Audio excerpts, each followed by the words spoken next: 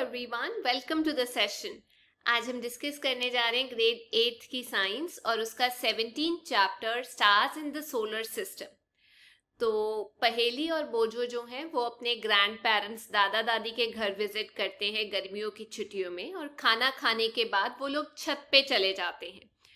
उस रात जो बादल थे, वो आसमान में नहीं थे तो वो बड़े हैरान होते हैं देख के कि चमकते हुए तारे उनको क्लियरली दिखाई देते हैं।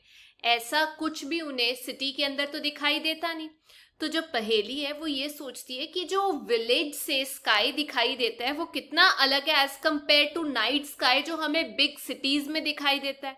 तो इस पे उसके दादाजी एक्सप्लेन करते हैं कि बेटा, बड़े शहरों में क्या होता है, बहुत ज़्यादा ब्राइट लाइट्स होती हैं, धुआँ होता है स्मोक डस्ट होता है। इस वजह से जो आसमान है, वो क्लियरली दिखाई नहीं देता।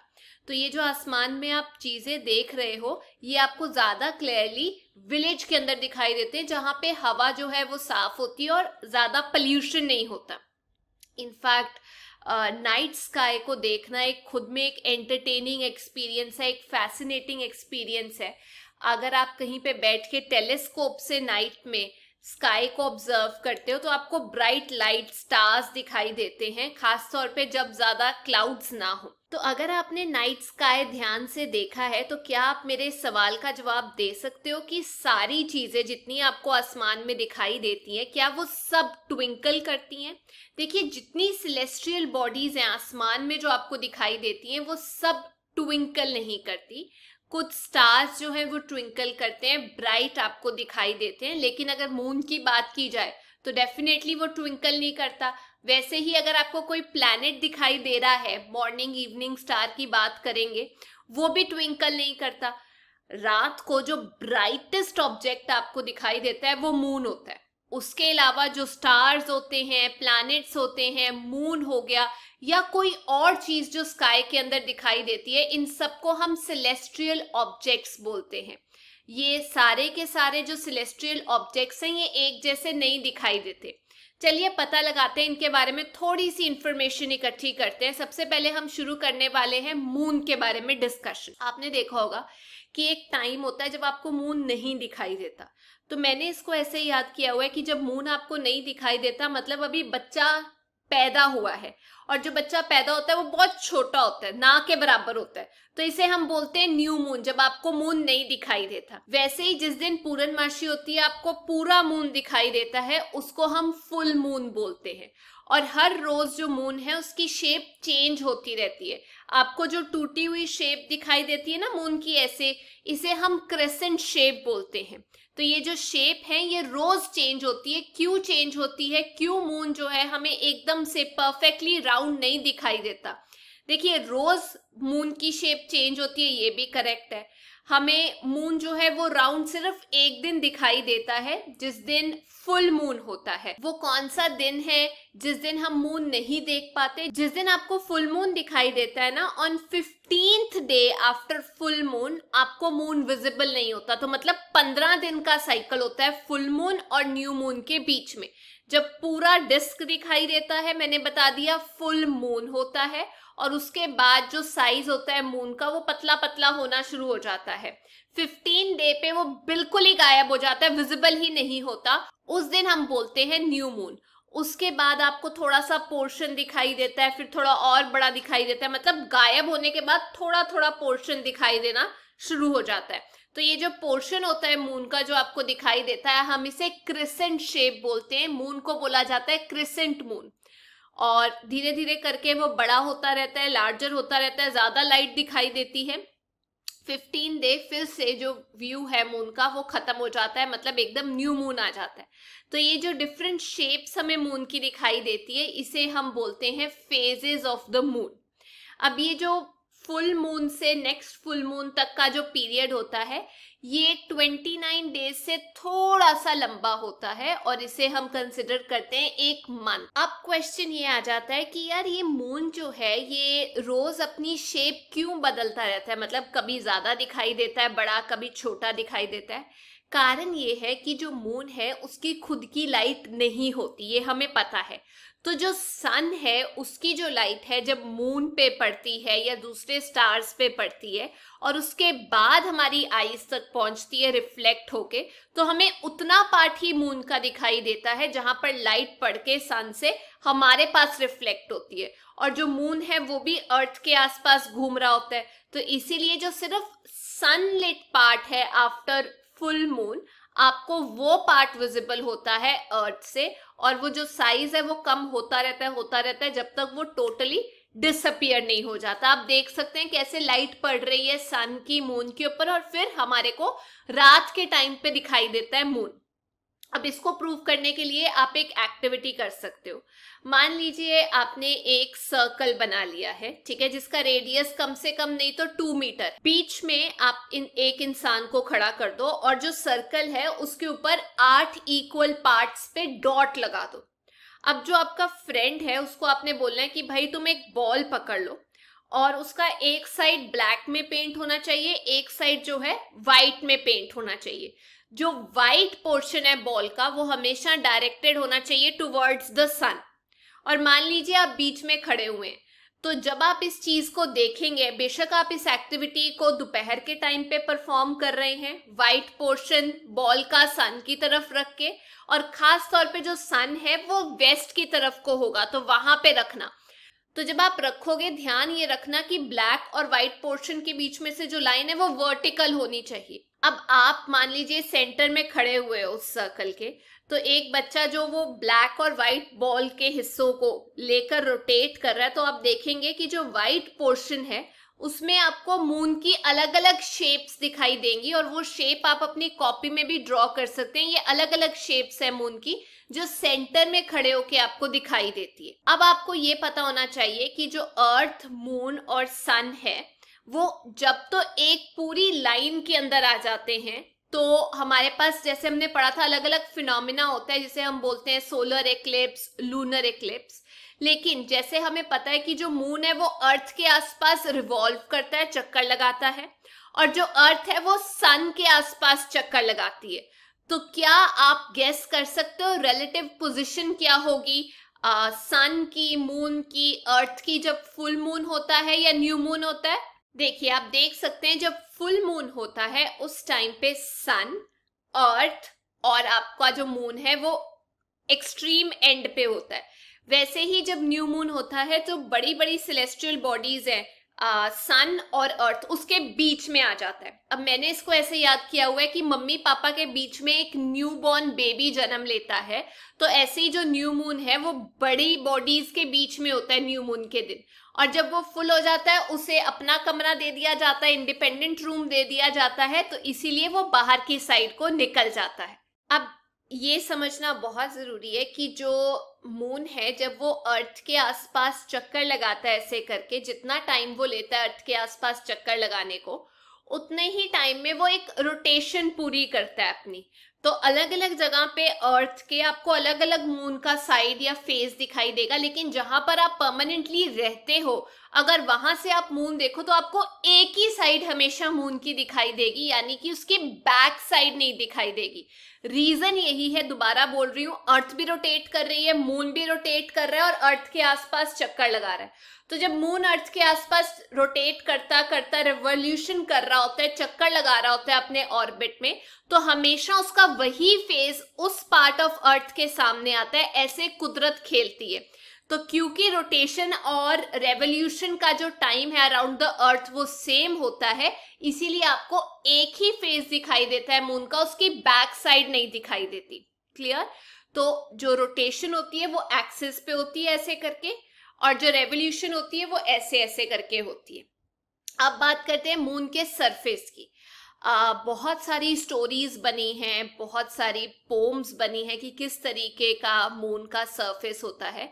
लेकिन एक्चुअली जब एस्ट्रोनॉट्स ने मून पे लैंड किया तो उनको मून का जो सरफेस है वो डस्टी लगा और बहुत ज़्यादा बैरन लगा। उसके अंदर बहुत बड़े बड़े ना क्रेटर्स थे। क्रेटर का मतलब आप कह सकते हैं खड्डे। बड़े भी थे छोटे भी थे बहुत ज़्यादा नंबर में थे। इसके अलावा वहाँ पर बहुत तीखे तीखे स्टीप और हाई माउंटेन्स थे मतलब बिल्कुल तीखे तीखे और जो माउंटेन्स हैं मून के ऊपर वो इतने हाइट पे हैं जितने आप अर्थ के अंदर देख सकते हैं मतलब इतने बड़े बड़े माउंटेन्स हैं। आ, पर मून के अंदर ना कोई एटमोसफेयर नहीं होता कोई पानी नहीं होता तो इसीलिए वहाँ पर लाइफ एग्जिस्ट नहीं कर सकती। आ, क्या आवाज़ ट्रेवल करती है मून के अंदर? हमने पढ़ा था जो साउंड है उसको ट्रेवल करने के लिए एक मीडियम चाहिए होता है। लेकिन क्योंकि मून के अंदर मीडियम ही नहीं है तो आवाज़ ट्रेवल नहीं करती। एटमॉस्फेयर भी तो नहीं एग्जिस्ट करता ना मून में इसीलिए आवाज़ भी नहीं ट्रेवल करती। अच्छा अब हम ये जान लेते हैं कि ट्वेंटी फ़र्स्ट जुलाई 1969 को इंडियन टाइम के हिसाब से अमेरिकन एस्ट्रोनॉट नील आर्मस्ट्रॉन्ग ने लैंड किया था मून के ऊपर फॉर द फ़र्स्ट टाइम और उनके बाद गए थे एडविन एल्ड्रिड चलिए अब बात करते हैं स्टार्स के बारे में। आपको कुछ और ऑब्जेक्ट्स भी दिखाई देते होंगे नाइट स्काई के अंदर।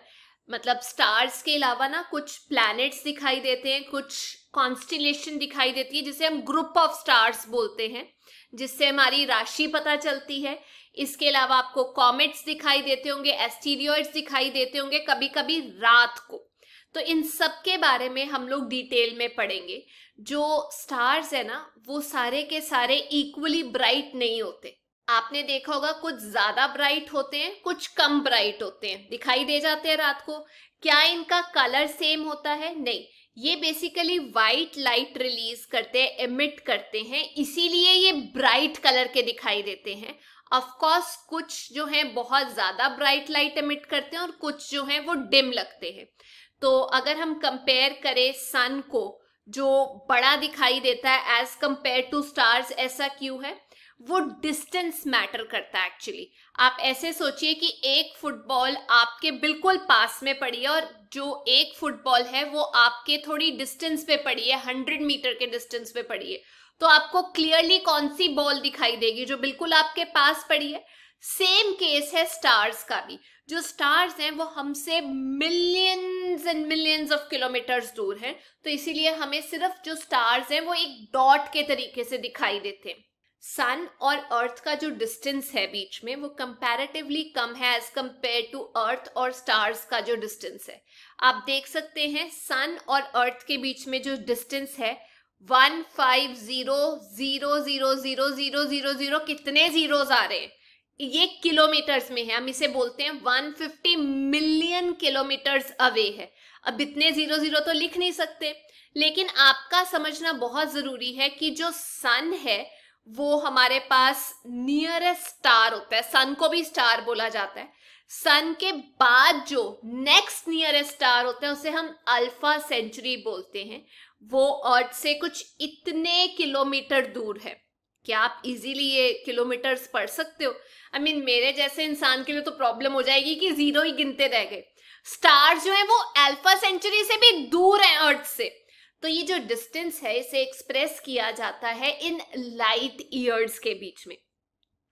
लाइट ईयर्स क्या होता है? जो डिस्टेंस ट्रेवल किया जाता है by light in one year अब आप सोचोगे लाइट ईयर लाइट एक ईयर में जो डिस्टेंस ट्रेवल करती है। याद ये रखना है कि जो स्पीड ऑफ़ लाइट है, वो है three lakh kilometre per second इतनी लाइट की जो स्पीड है, वो एक सेकेंड में होती है। तो हम ये कह सकते हैं कि अर्थ और सन के बीच में जो डिस्टेंस है, वो है एट लाइट मिनट्स और वैसे ही हमारा जो डिस्टेंस है अल्फ़ा सेंचुरी से, वो है four point three light years clear हो गया? अब सवाल ये पैदा होता है कि जब स्टार्स से अर्थ तक लाइट आने के लिए इतना टाइम लगता है तो क्या हम एक्चुअली पास्ट में देख रहे होते हैं? जब हम स्टार्स को देख रहे होते हैं एब्सोल्युटली हम पास्ट में देख रहे होते हैं क्योंकि टाइम ही इतना लगता है कि भाई, इतना टाइम लग रहा है तो हम बेसिकली पास्ट में देख रहे होते हैं। मतलब बहुत टाइम पहले लाइट चली होगी और वो चीज़ हमें आज की डेट में दिखाई देती है। अब सवाल ये हो जाता है कि क्या स्टार्स आप दिन के टाइम पे भी देख सकते हो या सिर्फ़ रात के टाइम पे विजिबल होते हैं? देखिए, जो स्टार्स हैं, वो प्रेजेंट होते हैं स्काई में डे टाइम में भी। पर वो विजिबल इसलिए नहीं होते क्योंकि जो सन की लाइट है वो बहुत ज़्यादा होती है और हमें जो स्टार्स हैं वो नहीं दिखाई देते क्योंकि सनलाइट बहुत ज़्यादा ब्राइट होती है। अच्छा अब आप एक एक्टिविटी करो। आप किसी प्रोमिनेंट स्टार को या ग्रुप ऑफ़ स्टार्स को स्काई के अंदर दो घंटे के आसपास अच्छे से ऑब्ज़र्व करो। दो घंटे, तीन घंटे ले लो। आप क्या रियलाइज़ करते हो? क्या जो स्टार्स है उनकी पोजीशन चेंज हो रही है या वो वहीं पे अटके हुए हैं? देखिए, जब आप ऐसे करके स्टार या ग्रुप ऑफ़ स्टार्स को ऑब्ज़र्व करते हो तो आपको लगेगा कि ये जो स्टार्स हैं, ये मूव कर रहे हैं फ्रॉम ईस्ट टू वेस्ट ये वेस्ट होता है, ये ईस्ट होता है तो वो बेसिकली मूव करते हैं फ्रॉम ईस्ट टू वेस्ट एक स्टार जो राइज करता है इवनिंग के अंदर ईस्ट से, वो सेट होता हुआ आपको दिखाई देगा मॉर्निंग के अंदर वेस्ट में। अब ऐसा क्यों हो रहा है? क्यों हमें जो स्टार्स हैं वो मूव होते हुए दिखाई दे रहे हैं from east to west difference क्यों हो रहा है? आपको एक एक्टिविटी देती हूँ। आप एक कमरे के अंदर खड़े हो जाओ और एक डायरेक्शन में मूव करना शुरू कर दो। गोल गोल गोल गोल गोल गोल। क्या आपको जो चीज़ें हैं वो ऑपोजिट डायरेक्शन में जाती हुई दिखाई दे रही हैं? ये भी छोड़ो। आप ट्रेन में जा रहे हो, जो पेड़ हैं या घर हैं, वो आपको ऑपोजिट डायरेक्शन में जाते हुए दिखाई दे रहे हैं। सेम केस वही हो रहा है स्टार्स के साथ। जो अर्थ है, वो रोटेट करती है फ्रॉम वेस्ट टू ईस्ट जब earth west to east rotate कर रही है तो जो स्टार्स हैं, वो हमें ईस्ट टू वेस्ट जाते हुए दिखाई दे रहे हैं। सन भी हम ये बोलते हैं कि वो राइज करता है ईस्ट से और अर्थ रोटेट कर रही है ऐसे करके और वो सेट होता है वेस्ट के अंदर। अब क्लियर हो गया डिफरेंस की हमें स्टार्स अर्थ की डायरेक्शन से ऑपोजिट डायरेक्शन में क्यों हिलते हुए दिखाई दे रहे हैं? अच्छा एक और एक्टिविटी करते हैं। एक बच्चे के दादाजी ने ये बताया था कि स्काई के अंदर सिर्फ़ एक स्टार है जो बिल्कुल भी मूव नहीं करता। क्या ऐसा पॉसिबल है? मैं आपको बताती हूँ। वो एक्चुअली अर्थ के नॉर्थ पोल के बिल्कुल ऊपर की तरफ़ को है, उसे हम पोल स्टार बोलते हैं। इसके लिए हम एक एक्टिविटी करते हैं। एक अम्ब्रेला ले लो, उसे खोल लो। और उसके अंदर आपने कुछ स्टार्स चिपकाने हैं वाइट पेपर के बना के। एक जो स्टार है, वो आप बिल्कुल बीच में अम्ब्रेला की जहाँ स्टिक होती है, वहाँ चिपका दो और बाकी के जो स्टार्स हैं, उसके कोने पे चिपका दो। अब अम्ब्रेला को जब आप गोल घुमाते हो ऐसे करके तो क्या आपको दिखाई देता है कि जो आसपास वाले स्टार्स है, वो मूव कर रहे हैं। लेकिन जो बीच वाला स्टार है, वो बिल्कुल स्टेशनरी है। अगर आप अम्ब्रेला को ऐसे घुमाओगे स्टार्स ऐसे घूमेंगे। अम्ब्रेला को ऐसे घुमाओगे तो स्टार्स ऑपोजिट डायरेक्शन में आपको घूमते हुए दिखाई देंगे। तो वो जो स्टेशनरी स्टार है, वो एक्चुअली अर्थ की भी एक्सिस के साथ बिल्कुल मिला हुआ है। इसीलिए हमें ये लगता है कि वो बिल्कुल भी मूव नहीं करता, क्योंकि वो एक्सिस ऑफ़ रोटेशन जैसे अर्थ ऐसे ऐसे करके रोटेट कर रही है, वो इसके बिल्कुल ऊपर है, उसे हम बोलते हैं पोल स्टार क्लियर अब बात करते हैं कॉन्स्टिलेशन के बारे में। आपने ग्रुप ऑफ़ स्टार्स देखा होगा। ये जो स्टार्स है ग्रुप में प्रेजेंट होते हैं, जो एक शेप बनाते हैं, उसे हम कॉन्स्टिलेशन बोलते हैं।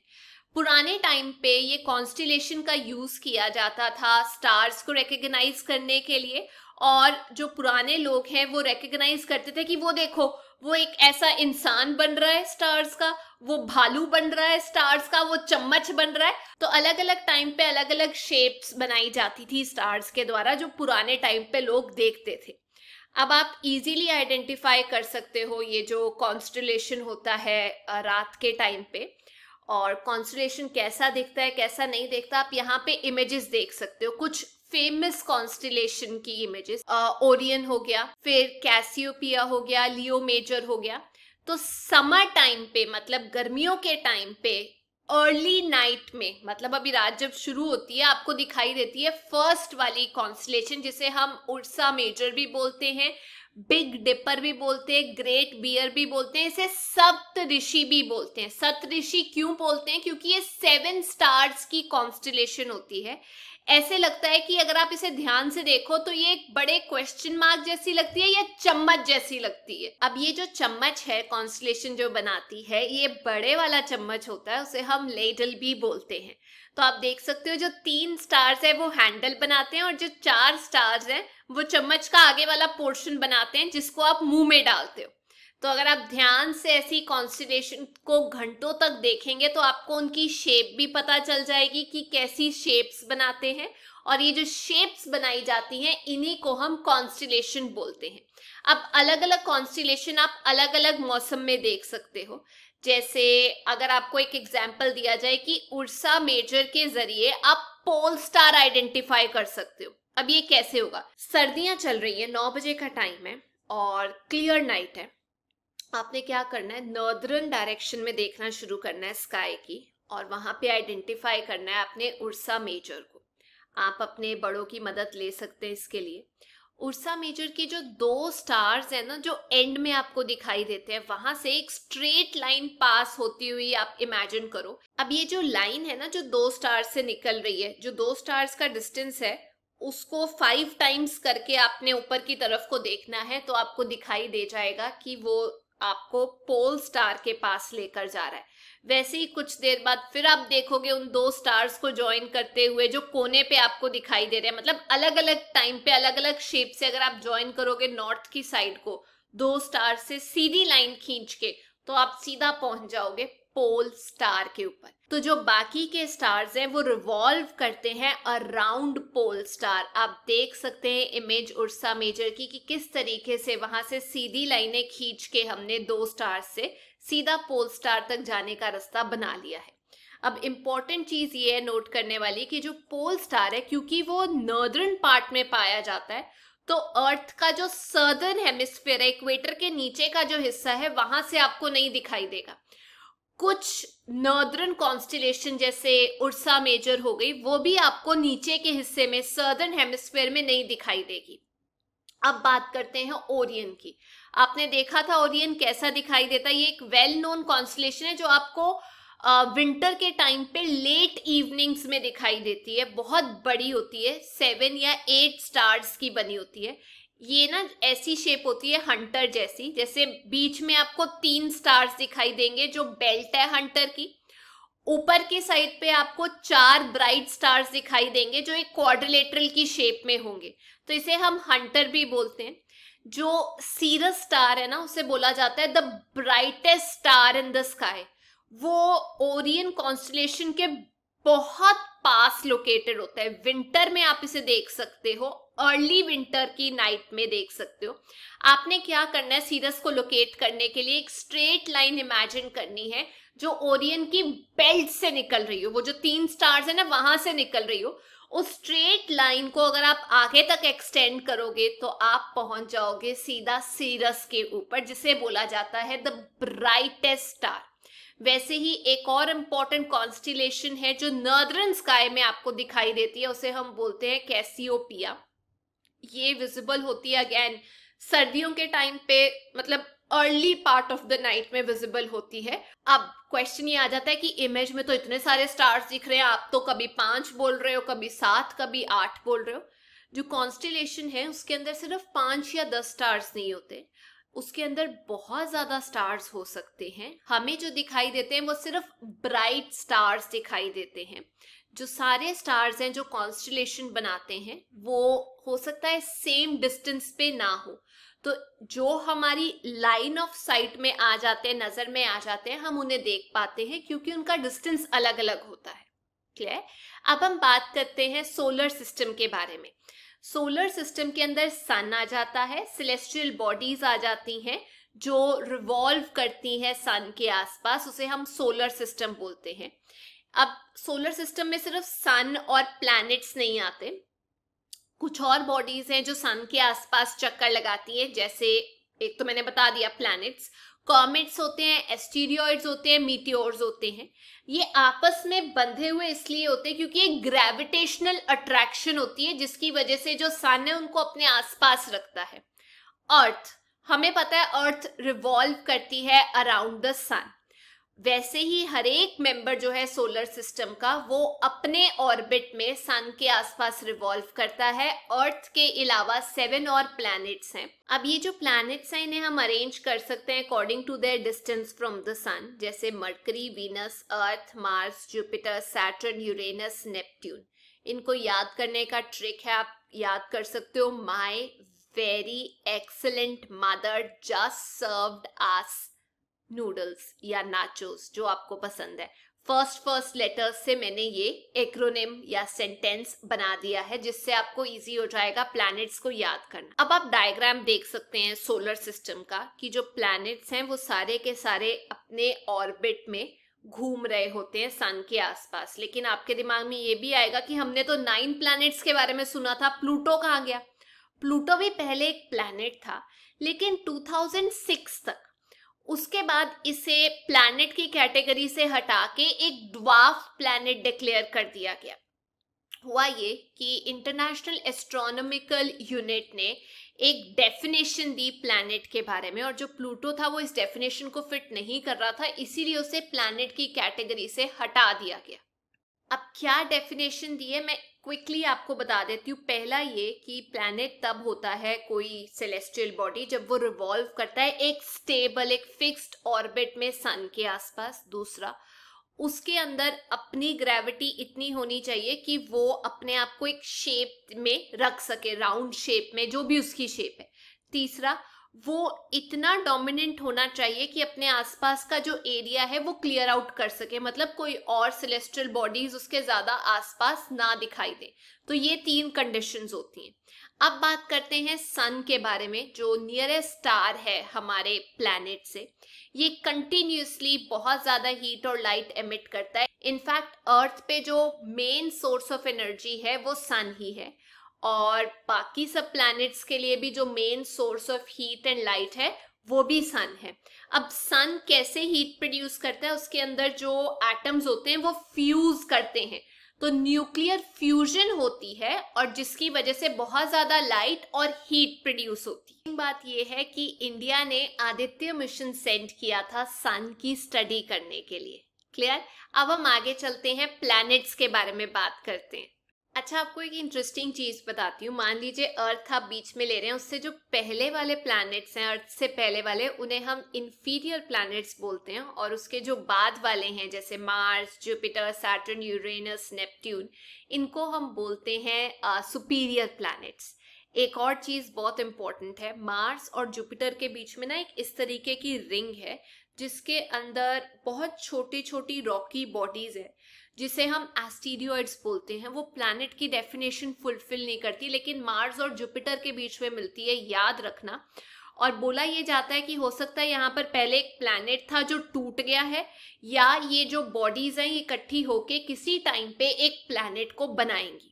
तो चलिए अब डिस्कस करते हैं हम प्लैनेट्स के बारे में, क्या प्लैनेट स्टार्स जैसे दिखते हैं, क्या उनकी अपनी लाइट होती है क्या वो सनलाइट उन पे जो पड़ती है सिर्फ़ वो रिफ्लेक्ट करते हैं? क्या हम डिस्टिंग्विश कर सकते हैं प्लैनेट्स और स्टार्स को?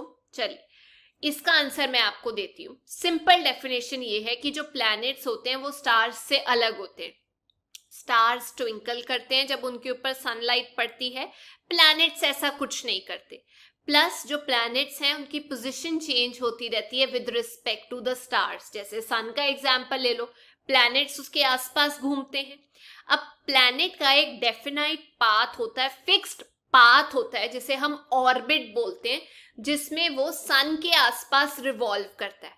हर प्लैनेट ये एक रेवोल्यूशन को पूरी करने के लिए अलग अलग टाइम लेता है। तो एक ऐसे चक्कर लगाने को हम बोलते हैं पीरियड ऑफ़ रेवोल्यूशन अगर कोई प्लैनेट सन के पास है तो उसका जो डिस्टेंस है वो कम होगा, जल्दी रेवोल्यूशन लेगा। अगर कोई प्लैनेट सन से दूर है तो डेफिनेटली वो ज़्यादा टाइम लेगा रेवोल्यूशन कंप्लीट करने के लिए। तो सोचना ये है कि आखिरकार ये आपस में बजते तो नहीं है कोलाइड तो नहीं करते। अब मान लीजिए आपका एक फ्रेंड जो है, बिल्कुल बीच में खड़ा है सेंटर में ग्राउंड के, वो सन है। उसको सेंटर मान के आप वन मीटर रेडियस का एक चक्कर बना लो 1.8 का बना लो 2.5 का बना लो 3.8 का बना लो मीटर का। और सब बच्चे उसमें सर्कल कर रहे हैं। कोई एक दूसरे में आके हिट तो नहीं ना कर रहा। तो डेफिनेटली क्योंकि ये अपने तरीके से सर्कल कर रहे हैं, अपने पाथ पे कर रहे हैं तो ये कोलाइड नहीं करेंगे।